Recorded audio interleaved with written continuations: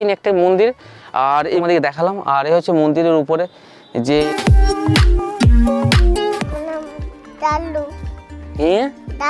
একশো মৌজা হচ্ছে এই মন্দিরের নামে আছে। মন্দিরের নামে আছে। হ্যাঁ প্রতি বছর দুসরা মাঘ এইখানে একটা খাওয়ান ব্যবস্থা। এই হচ্ছে মন্দির আর এই মন্দির ঠিক পাশে আছে কুয়া পুকুর স্টপেজে নামতে হবে সেখান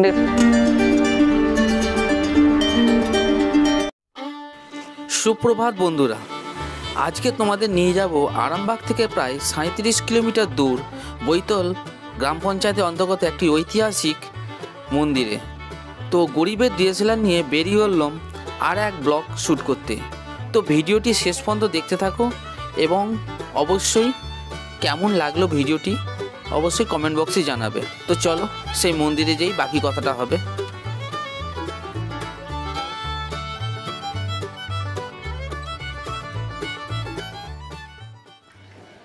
Hello friends, welcome to back my new another fresh blog. So guys আশা করি ফ্রেন্ডস তোমরা সবাই ভালো আছো এবং সুস্থ আছো। তো যাই হোক, সেটা বড় কথা নয়, বড় কথা হচ্ছে এই, তো আমি এখন আছি বাঁকুড়া জেলার বৈতল গ্রাম পঞ্চায়েত অন্তর্গত শ্যামচাঁদ মন্দিরে, যেটা ফ্রেন্ডস প্রায় শতাব্দীর প্রাচীন একটা মন্দির। আর এই মন্দির বলতে পারো ফ্রেন্ডস তিনশো থেকে চারশো বছর পুরনো একটা মন্দির। আর হ্যাঁ এই মন্দিরে আজকে এসেছি, আর আজকে ফ্রেন্ডস এই মন্দিরটাকে এক্সপ্লোর করব। শুধু এক্সপ্লোর করব না, এই মন্দির সম্বন্ধে কিছু তথ্য। আমরা এখানকার স্থানীয় মানুষদের কাছ থেকে বা যারা পুরোহিত যিনি পুজো করেন, তার কাছ থেকে আমি জানার চেষ্টা করব। তো তবে তার আগে ফ্রেন্ডস একটু বাইরেটা ঘুরে তোমাদেরকে দেখিয়ে দিই, ঠিক আছে? তো চলো, এই হচ্ছে সরকারি বোর্ড দেওয়া আছে, এই মন্দির সম্বন্ধে কিছু তথ্য এখানে তুলে ধরা হয়েছে। আর এই হচ্ছে মন্দির এই হচ্ছে সেই মন্দির। এই হচ্ছে ফ্রেন্ডস মন্দিরের গেট তো চারপাশটা একটু ঘুরে দেখিয়ে দিই।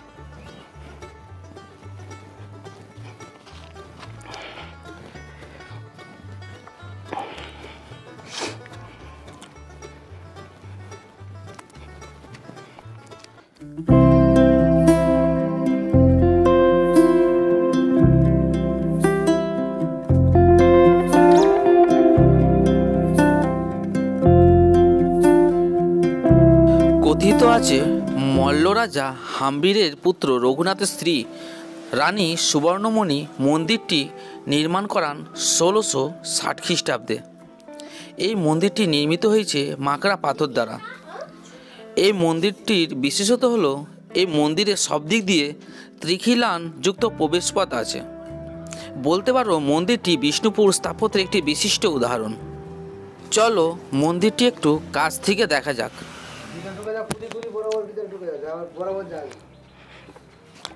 তো এখনও বাউন মশাই আসেনি, আর এই হচ্ছে মন্দিরের এইটা হচ্ছে গেট এখন বন্ধ আছে, তো আধ ঘণ্টার পরই স্থানীয় লোকাল মানুষেরা জানতে পারলাম যে একটু পরেই আসবে বাউন মশাই পুজো করতে। তো ওনার সঙ্গেও কথা বলার চেষ্টা করব, যে মন্দির সম্বন্ধে কিছু তথ্য নেওয়ার চেষ্টা করব। তো এই হচ্ছে মন্দিরের ভেতরে, গর্ভগৃহের ভেতরে, এই হচ্ছে অন্ধকার আছে।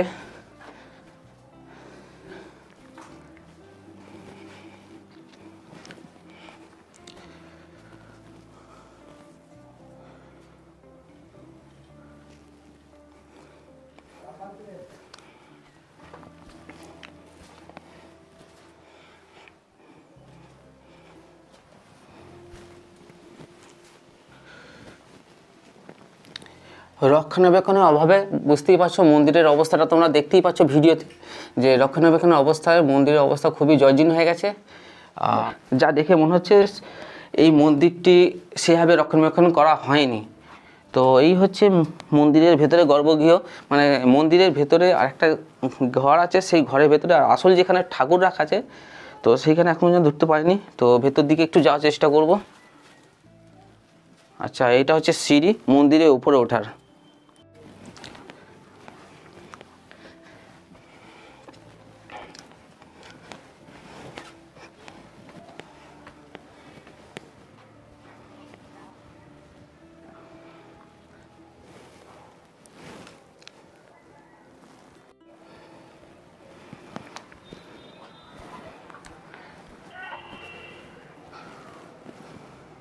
তো সো গাইস এখন আমি মন্দিরের ঠিক উপরে উঠেছি আর সিঁড়ি দিয়ে যেমন কি তোমাদেরকে দেখালাম, আর এ হচ্ছে মন্দিরের উপরে যে থামগুলো আছে, সে থামগুলো খুবই জর্জীর্ণ অবস্থায় আছে। তো সাবধানে আমি ভিডিওটা করার চেষ্টা করছি, যাই হোক। তো সেভাবে ফ্রেন্ডস রক্ষণাবেক্ষণ যেমন কি বললাম, রক্ষণাবেক্ষণ সেভাবে হয়নি মন্দিরটি। এটা হচ্ছে উপরের, এইদিকে একটা থাম আছে, আর এইদিকে থাম আছে, আর থামগুলো দেখতেই পাচ্ছ। আর এটা হচ্ছে ভেতরের চারধার দিয়ে যেমন ফ্রেন্ডস বললাম, চারধার দিয়ে এই হচ্ছে মন্দিরের সব। আর এটা হচ্ছে মন্দিরের ঠিক পিছনের অংশ। তো এটা হচ্ছে মন্দিরের ঠিক পিছনের অংশ। আর এই যে, এইটা হচ্ছে পিছনের থাম, আর এইটা হচ্ছে থাম, আর এইদিকে হচ্ছে গ্রাম। গ্রামের টোটাল গ্রাম। যাই হোক লাইটটা একটু কম আসছে। গ্রাম আর জঙ্গল, মানুষ যাওয়া আসা করছে। যাই হোক।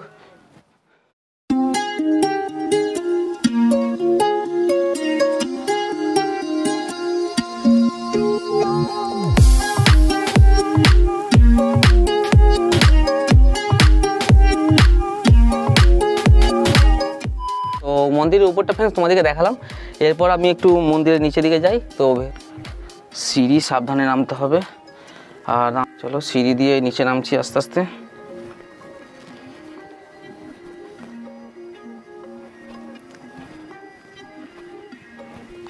অন্ধকার আছে, একটু সাবধানে নামতে হবে বস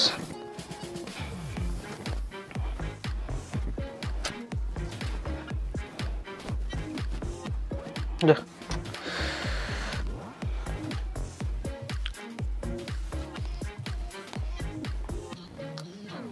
যাই হোক বেশি ভেতরে যাব না।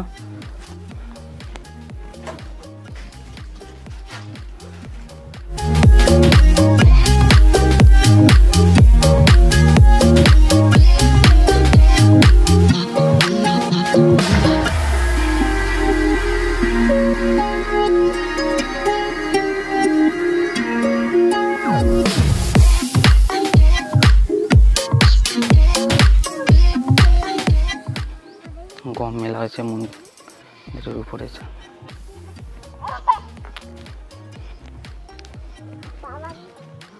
তো দেখতে পাচ্ছ মন্দিরে ওইভাবে কীভাবে সব লেখালেখি করেছে। তো যাই হোক।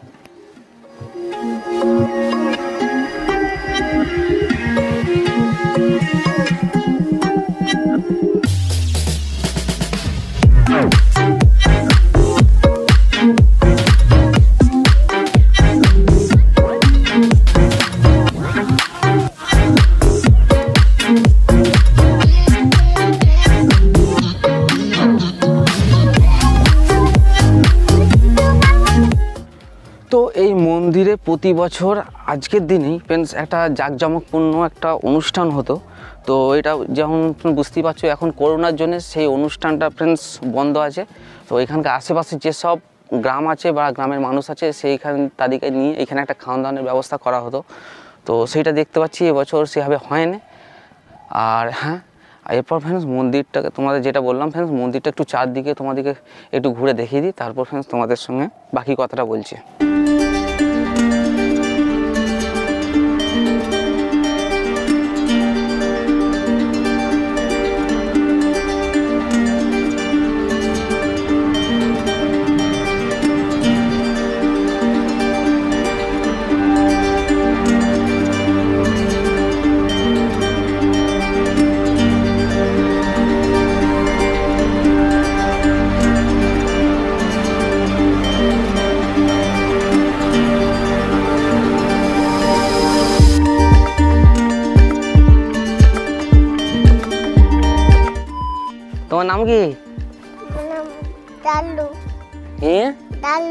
ডাল্লু হ্যাঁ। কিসে পড়ো? স্কুল যাও কি না হ্যাঁ। স্কুল যাও? কিসে পড়ো? ও চলো। তো গাইস আমি এখন আমাদের এখানকার এই মন্দিরে একজন স্থানীয় মানুষকে পেয়েছি তো ওনার কাছ থেকে একটু জানার চেষ্টা করব এই মন্দির সম্বন্ধে কিছু। একশো বুগা মৌজা হচ্ছে এই মন্দিরের নামে আছে। মন্দিরের নামে আছে। আচ্ছা আমি যেটা জিজ্ঞাসা করছিলাম যে সরকার থেকে কি কোনো রকম সাহায্য পায় কি না সরকার থেকে বলতে কি এবারে রাজারা পায় নাকি বলতে পারব না কিন্তু সেটা আমরা খবর নিই। তবে সেটা জানিনি। কিন্তু এর যা এর যা এর গোপীনাথপুরে অঞ্চলে যা জমি ওইখানেও একশো বিঘা মৌজা। এবার সেইখান থেকে রাজারা কিছু নেই নাকি আমি বলতে পারব না। কিন্তু সব সরকারের নামে দিয়ে দিয়েছে। আর এই মন্দিরটি একবার এলো একটা ভদ্রলোক এলো এসে বলল এটা মন্দিরটা কাজ হবে। এই যে ওই যে বেড়া ফেড়া করে গেলো ওই পাঁচিল ফাঁচিল ওই করে গেছে। সরকার থেকে এসেছিলেন হ্যাঁ সরকার থেকে এসেছিল। সান পান সব করে গেলো। এবারে টাকা প্রচুর হয়েছিল অর্ধেক টাকা খাইয়েছে খেলে করেছে আর অর্ধেক টাকা হাফিস করে দিয়েছে। আচ্ছা এই মন্দিরটা মোটামুটি কত বছর হবে? আমরা তো মোটামুটি আমাদের জ্ঞান হওয়ার থেকে দেখছি আমার দাদুর আমল থেকে দেখছি। মোটামুটি তিনশো থেকে চারশো বছর যা হ্যাঁ, বোর্ডে দেখলাম হ্যাঁ, তিনশো থেকে চারশো বছর তাই চারশো বছর দেখছি কিন্তু আরও বেশি। পূর্বপুরুষ হয়ে আছে। আমার নাম হচ্ছে অনিল বনরাখা অনিল? বনরাখা আমাদের টাইটেল বনরাখা। বনগার? হ্যাঁ, বনরাখা। ও বনগাঁ তো যেটা জানতে পারলাম মোটামুটি মোট কথা ফ্রেন্ডস যে সরকারি সাহায্য পায় কিনা তারা হয়তো ঠিক মতন বলতে পারছে না তো যাই হোক। তবে মন্দিরটা দেখে যা মনে হলো যে খুব জর্জীর্ণ অবস্থায় আছে সেরকম রক্ষণাবেক্ষণ হয়নি। আর হ্যাঁ প্রতি বছর দুসরা মাঘ এইখানে একটা খাওয়ান দানের ব্যবস্থা হয় যেটা আমি আগেই বললাম। তো সেই খাওয়ান দান ব্যবস্থায় আশেপাশে যেসব গ্রাম আছে সেই গ্রামের কী বাবু তো আশেপাশে যেসব গ্রাম আছে সে গ্রামের প্রায় প্রচুর মানুষ সেখানে আসে এবং তাদেরকে নিয়েই খাওয়া দাওয়ার ব্যবস্থা করা হয়। তো আর এবছর হয় না যেহেতু মানুষ বুঝতে পারছ কোভিডের টাইম চলছে আর এখানে লোকজন অতটা পারমিশন এখানকার স্থানীয় প্রশাসন দেয় না। তো যাই হোক এই হচ্ছে ফ্রেন্ডস মন্দির। আর এই তোমরা স্কুলে পড়ো নাকি? ও স্কুল খোলা আছে? টিউশন গেছিলে? ঠিক আছে। তো বাচ্চারা যেমন মন্দিরের পাশ দিয়ে যাচ্ছিল, তারা টিউশন গেছিল পড়তে তারা আমি ভিডিও করছি দেখে তারাও দাঁড়িয়ে পড়ল। তো যাই হোক ফ্রেন্ডস এই হচ্ছে মন্দির, আর মন্দির সম্বন্ধে ফ্রেন্ডস কিছু তথ্য আমি এখানকার স্থানীয় গ্রামের মানুষ কাছ থেকে জানার চেষ্টা করলাম। এখন পর্যন্ত বাউন আসে না, তো যাই হোক বাউনের সঙ্গে মনে হয় আর দেখা হবে না। তো হ্যাঁ আর যেটা বলছিলাম, এখানে একটি, এই মন্দিরের সামনে একটি কুয়া দেখলাম। এই কুয়ার সম্বন্ধে যেটা জানলাম যে এখানে প্রতি বছরই মানে শীত গ্রীষ্ম বর্ষা সবসময় জল থাকে আর এইটা হচ্ছে এই মন্দিরই একটা কুয়া। তো ওই কুয়াটাকেও তোমাদেরকে দেখিয়ে দিই। ঠাকুরেরই কুয়া তাই তো? তো ওই কুয়াটাকেও তোমাদেরকে দেখিয়ে দিচ্ছি। তো এই হচ্ছে মন্দির আর এই মন্দির ঠিক পাশে আছে কুয়া। এই কুয়ার প্রতি এখানকার গ্রামের মানুষের গভীর আস্থা জড়িয়ে আছে। শীত গ্রীষ্ম বর্ষা সবসময় জল থাকে। এই হচ্ছে কুয়া। আর ঠিক আর এই হচ্ছে মন্দির শ্যামচাঁদ মন্দির।